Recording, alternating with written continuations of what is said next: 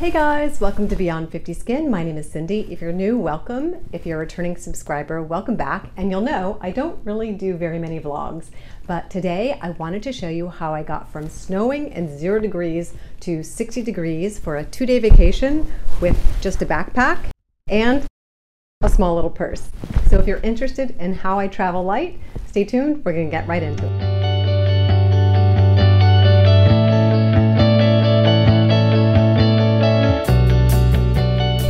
Just unpacked everything. I'm going to show you how I got everything that I'm going to need for a two-day trip in this small little backpack. And I went from zero degrees and snowing to 60 degrees and raining. So I haven't traveled a lot on my own until I was kind of now an older adult. I oh, I got married really young. I had kids really young. Always did the whole family traveling thing where we had like loads of everything. And then when my husband and I did travel, he kind of taught me to travel light. And so I've gotten used to bringing just what we need and being able to move quickly. So I like to have a backpack style, and I love this because I can throw it over my shoulders or I can sling it across my body, and I love that. When my when I travel with my husband, he's the type that we're not missing a flight. We run through airports, and so we are always on the go. And I have to be able to move quickly. I can't be dragging too many suitcases. I'm like when I do bring a suitcase, it's one roller bag.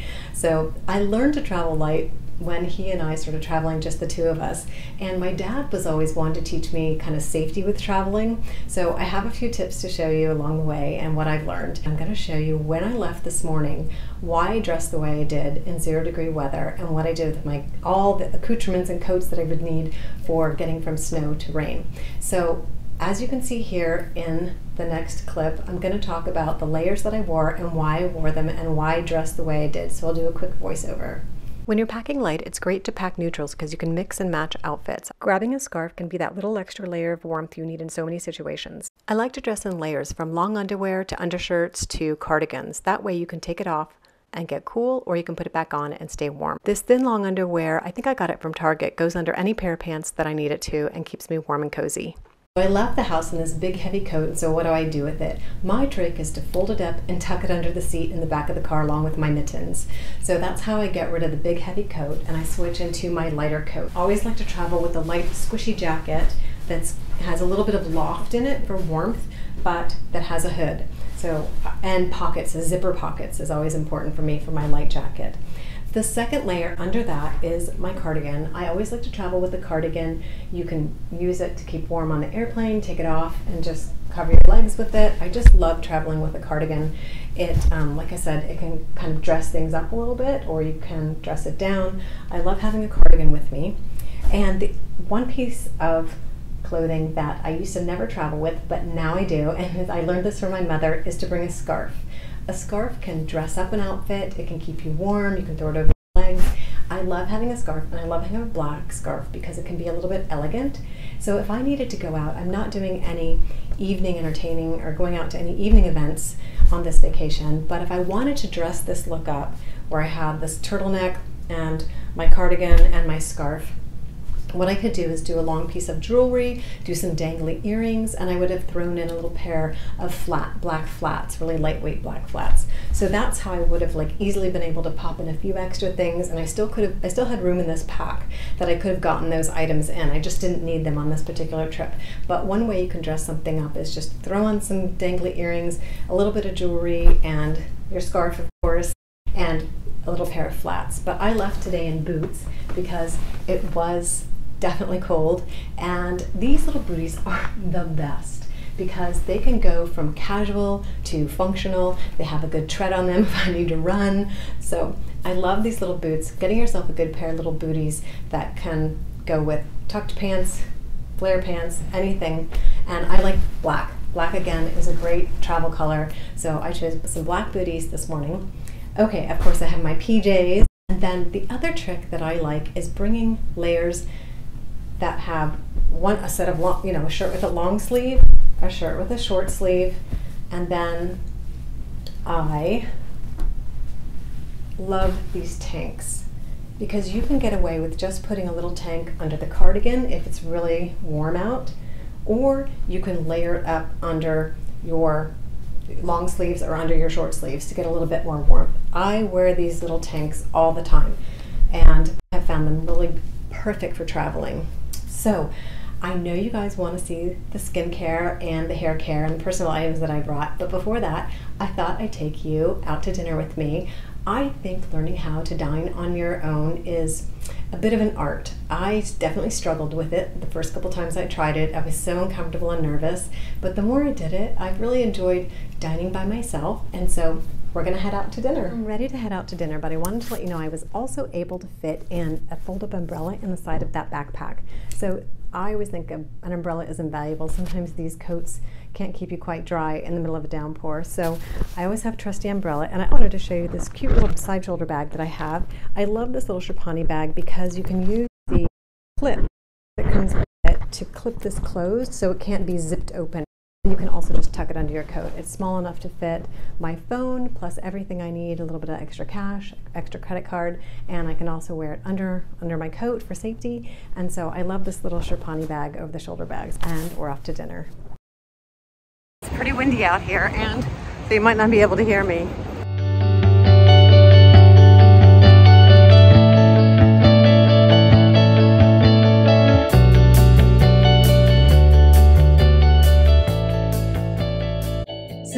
You all been waiting for, what was I able to get in my little online Ziploc bag for skincare, hair care, and makeup? All right, let's get into it and the wash off the day. So I first travel with these little contact cases when I'm just going for a short trip. I just fill them up with my skincare. So I have in here, I have a cleanser, a serum, and a moisturizer.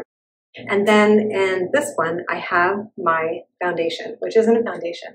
I use just a small amount of cover up. In this case, it's going to be Just a Touch by Trinny London. And that's what I use to cover up any imperfections after I'm going to apply my sunscreen tomorrow. Just in the spots where I need it and over my lids to kind of cover up the, the, red, the redness on my lids and my veins. And I find that that along with my mascara is really kind of all I need. And my lipstick, of course. And I bring, I purposely bring a lipstick. This is the kind of a balm little stick. This is the Charlotte Tilbury one, and I can't remember. I think it's in Freesia. But what I like about this is it's super moisturizing. It's, it's so close to my lip color that it can just double as, put some on, I haven't washed my face yet. It can just double as a lip balm, and I don't have to bring an extra lip balm. Just for a short short period, I won't have to do that. So I use my makeup is going to be the Just a Touch that I popped in here, my mascara, and a lippy, and that's it. That's it for the makeup. Okay, and my skincare, just a little bit of skincare, not a ton, just a moisturizer, sorry, a cleanser, a serum, and a moisturizer. The end, and of course SPF, but I put that in another container. Oh, and I did, I did bring a mist. you know me. For tomorrow morning, I'm gonna have to spritz my face with a mist, and I think I decanted in here the ferulic acid mist. Toothpaste, and my little travel toothbrush, and I put Trader Joe's hand cream in here. This I use on the plane, and if I run out of my facial moisturizer, it actually, in a pinch, can double as a facial moisturizer. It's enough to give me a quick coating for a body moisturizer. I love the Trader Joe's versatile hand and cream. I think it's Moroccan oil moisturizer. It's a hand and body moisturizer. It's unscented. It's fantastic. It can cover cover you from moisture from head to toe. Okay, and the sunscreen that I chose is the Biossance 30 SPF. This is a mineral sunscreen, and I just brought their travel size, which I really like. And that's for tomorrow. And then, oh, of course, two sunscreens and unseen sunscreen.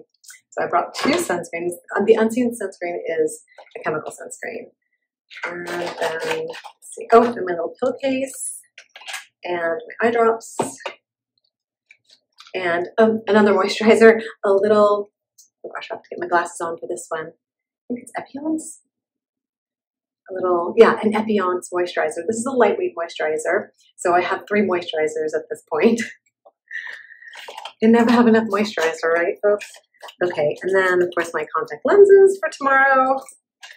And oh my gosh, I didn't bring a retinol, a little travel size retinol. This is the Luna from Sunday Riley, I believe. Yeah, Sunday Riley's Luna. So I always, you know, dig into my little travel sizes and sample sizes when I travel, of course, like we all do. And that's, I think, it. Another set of contact lenses. So that's it. I really pare down when I'm traveling for my skincare, but I don't, I make sure I bring the essentials so that I have a little bit of makeup, definitely all my skincare that I'll need. So I'm going to get cleansing. That's how I get my skincare, hair care, and makeup in one small zippy bag to last me for two days. And I'm going to show you one extra travel tip that I've learned if I think I might be coming back with more than I left. So what I do is I nest my bags, and I'm going to show you how I do that. I didn't record it before I left, but I'll record it when I get back and I'll show you. I know I wasn't coming back with anything extra this time, but it is a great travel trip that I know you'll enjoy. So you can do my next little travel tip one of two ways. You can either put your zippy bag inside your backpack. I love this little blue bag. It's one of my favorite travel bags. It holds a ton. It has a sturdy Ziploc top and wonderful canvas handles. I absolutely love it. I've taken it everywhere. I think I've had it for maybe 10 years and there's not a hole in it, has no fraying. The other way I can do it is I can put my backpack inside the zip bag and then just take the zip bag along with me. I thought you'd also like to see the interior of my backpack. It has a laptop pocket, which I didn't end up needing today, a really sturdy deep bottom with little side pockets for all your small items. I love the handles of this backpack. They're reinforced with leather also, the special material that it's made out of, if you can't cut this material or slice it. The zipper pockets have an extra loop for safety. You tuck them in and someone can't unzip it as you're walking along. You can just put some small items in there. I usually put um, extra cash or credit cards. And then there's an open pocket, which I don't typically use. And then this pocket in the front, which I put all my skincare, hair care, and makeup for carry on. I also love this backpack because there's a special zipper at the bottom where it holds in the backpack straps so they're not dangling. I think that's a wonderful safety feature, especially if you're using it as an over the shoulder bag or a handle bag. The backpack straps just tuck right in. Another safety feature is this loop, steel loop that you can attach to a cafe chair. And if you attach it, then someone can't just quickly grab your bag and run. So I love my backpack. It has wonderful safety features.